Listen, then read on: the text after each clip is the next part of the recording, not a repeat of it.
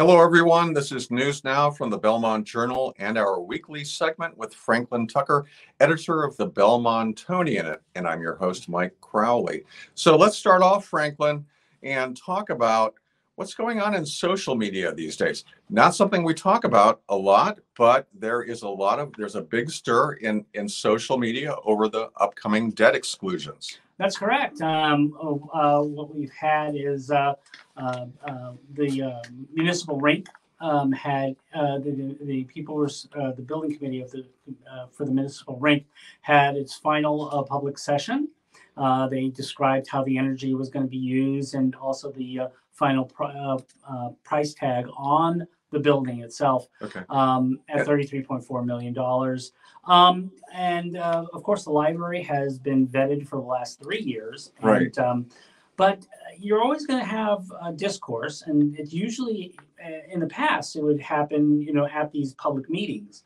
Nowadays, people are just going straight to social media, and those social medias are both Facebook and uh, um, uh, the um, uh, Nextdoor. next door, Belmont Nextdoor, and uh, uh, you're just seeing um, uh, not just uh, let's say complaints or anything like that. We're seeing analysis based on other people's uh, interpretation of certain things. Let's let's talk uh, about the rink. Okay. Uh, there are two. There, there are of course rinks being built all over the country, and there's two that are nearby here. One's in Brookline and one's in Marblehead. The Marblehead um, uh, rink is right now proposed for I believe like seven million dollars, and the uh, Br- the rink in, in Brookline is is which is two rinks, Okay. an outdoor rink and an indoor rink. Uh, is in is in the forty four to fifty million dollar range. So, so naturally, some in the community would ask, why can't we do what Brookline has done? What's what's different, Franklin? Well, what's different is that uh, they're producing um, uh, their own set of facts. Let's say, you know, we, you know, and it's uh, they can make an analysis of that, and as you know, they can say, why aren't we building it this way? Uh, what happened at the uh, public meeting uh, was that uh, Ted Galante, the architect, basically said, look, you have different, you know, there's. there's Basically, when you're looking at rinks, it's apples and oranges. You know, they're they're all, not all the same. It's just Yeah. like a house if you build a house or you build a uh, commercial space, they're not going to all be uh, exactly alike, and they're not Mhm. all going to cost the same. Now, with the case in Marblehead, uh, Mr. Uh, uh, Galante basically said, "I, you know, they, they have this is just a, an initial um, uh, feel of what this could could be done." So, but he says it can't be done for seven million dollars. It's just, it just can't, you Okay. know. And and, and he made a, a- a very uh, detailed and uh, convincing uh, argument about why certain costs cost some, you know, like in Belmont, you'll we're they're doing it a certain way.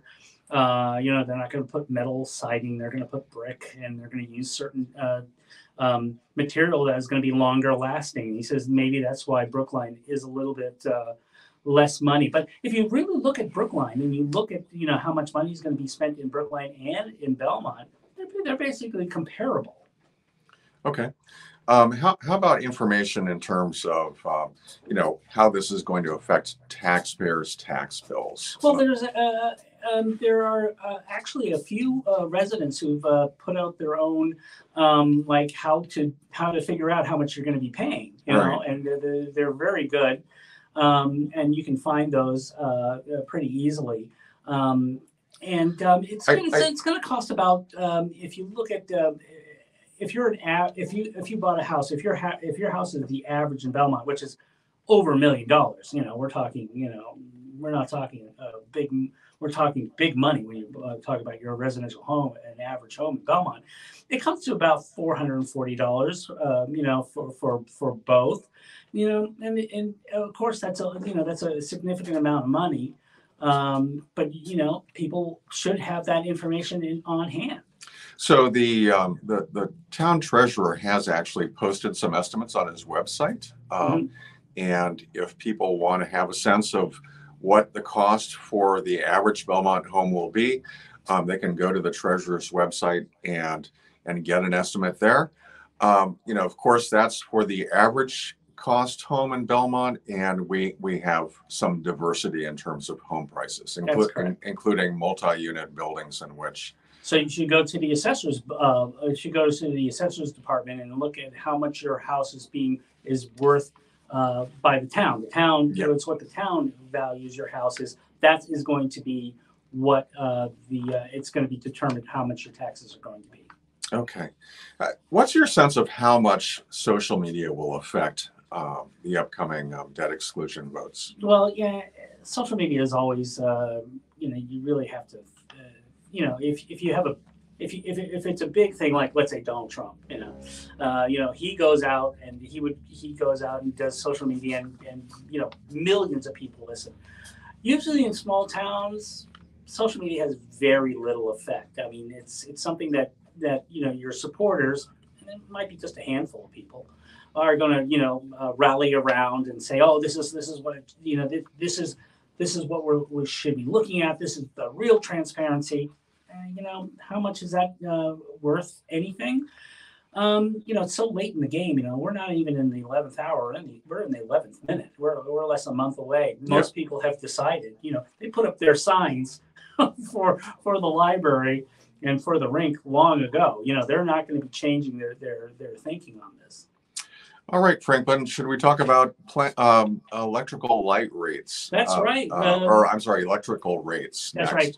While the uh, uh, Belmont Light will be coming out with a public meeting in the next week or so, I believe in the last week of, of October, so it's two weeks away. Uh, they did present their uh, their analyst did present to the board what what should be proposed and uh, to resident to residents, and so it's going to be just like what we're seeing with national national national grid and the elect and the uh, gas rates. We're going to see an increase in, in, in Belmont of about I mean, think 12 and 13 percent between residential and commercial. All right, Franklin, and and these these proposed rate increases, they're not final yet. The light board has to approve them. Approve them. Is that right? That's correct. Yep. I mean, this is this is still you know just a proposal. This is good. You can almost call it a draft. I think what they're going to do is that is that the uh, the light board and and their supporters are going to, you know, find a way to make it make it simpler, and that's what they were talking about at this meeting last uh, uh, earlier this week. They said, you know, we can't just go out here and throw them, you know, into the deep ditch with all these, you know, an analysis on what you know the generation rate and distri- distribution rate you know they're going to make it simpler but basically what you're going to see is that uh, for the average homeowner and the average homeowner has a 500 kilowatt bill Mhm. every month. So what you're looking at is the current bill is for a resident is about 111 dollars and 19 cents. That's going to increase to 125.18 so we're going to see a 14 percent uh, a 14 dollar increase uh, in for for the average resident And how, how soon would these proposed electrical rates go into effect? uh, and, and the next uh, billing once they're approved. I see. All right. Well, something to keep in mind is that these are well below the increases of uh, what's being discussed, um, or or um, you know what's what what National Grid is seeking approval of for for gas. That's Um, right. It's it's it's it's it's much less, and, and even if you look at um, uh, uh, um, other um, like electrical, um, uh, uh, not the non-municipal uh, electrical utilities, they're higher also. All right, Franklin. Well, I'll I'll be switching to an electrical space heater this winter. All right. So um, next up, um, let's talk about what's happening with the planning board. We've had a number of of departures, and and it's it's affecting what's what's taking place. That's right. Um, what we had is the, the, sudden uh, resignation of Steve uh, Steve Pinkerton, who's been for five years, has been on the board, and I believe it's the last two or three years. He's been the uh, chair of that board. He's been a, a great source of uh, uh, of continuity for a uh, for the planning board. He, he he runs a very clean and very you know he's very good at what he was doing. Um, and it's, it's it's pretty sad to see him go uh, the, uh, um, uh, Matt Lowry, who is the uh, uh, vice chair, he said it was uh, coincidental that um, he he was also resigning, and just before he pressed the send button on his on his email that was going to go to Stephen, he found Stephen's email saying he was resigning. Now, so he's decided. So Matt has decided to stay on um, temp- temporarily until there were some new appointments. That's right, uh, and that will be up to the select board. The select board will have to uh, find people who are capable of doing a planning board. I mean, the, the one thing that was happening with the, with the planning board is that unlike the zoning board of appeals, they only have one associate member, and they uh, and they moved that associate member to a permanent member just recently um, for the planning board. The zoning board of appeals has three associate members, Okay. and that's just the way that it was it was designed to be. So whenever they lose a member, they have somebody right away. Bell, uh, but uh, for the uh, planning board, it's going to take um, maybe a month, let's say. So in practical terms, what this did is it uh, delayed a very major project that's happening on Belmont Hill, and that is the Belmont Hill Schools parking plan or project.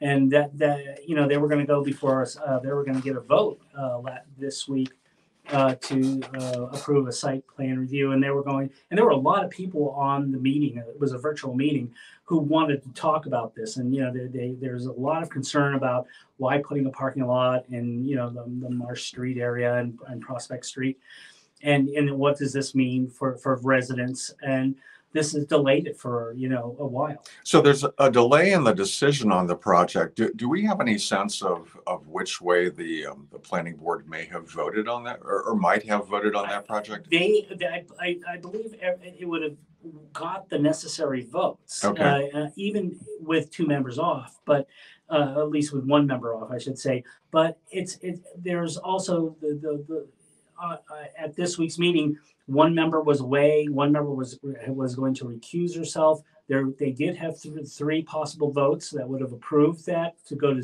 design review. But as as uh, uh, Matt Lowry said, you know, let's wait. You know, let's wait until we have a full board because then we don't have to have any kind of. There's no disagreement on on who you know what the what the planning board's real intent was. They wanted to make sure that everybody was on on the same page. Let, let me ask you about what, what some other types of projects that, that might be affected um, but by what, you know, what's happening with the planning board. Oh, Um, everything from like you know wanting to put dormers on your roof to Okay. to major projects. I mean, everything goes through the planning board. So if any new projects coming down, uh, you know, uh, on the route, you know, it's going to be delayed. So this is a, It's, it's not. it's- I don't want to. I don't want people to think that it's going to be delayed a year. You know, but it's still going to be a delay. all right, and- and, and the select board has to find qualified appointments. to And that's staff. and, and and they do have them. I mean, there are people who've always, when there's an opening, they want to join the planning board. Now they're just going to have to go through the whole process of bringing them in and, and talking to them and, and getting approval. All right, Franklin. Well, thank you. And um, if you'd like to, to see more of Franklin's reporting, please go to belmontonian.com. And um, we'll see you next time, Franklin, and we'll see our audience next time. Thank you.